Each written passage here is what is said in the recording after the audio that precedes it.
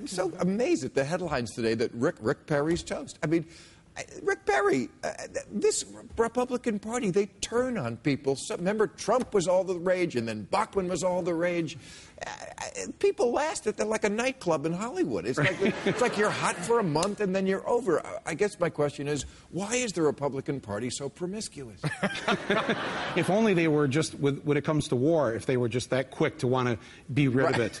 You know, just like, yeah, well, we invaded Iraq. That's no good. Let's yeah. bring everybody home in the first week.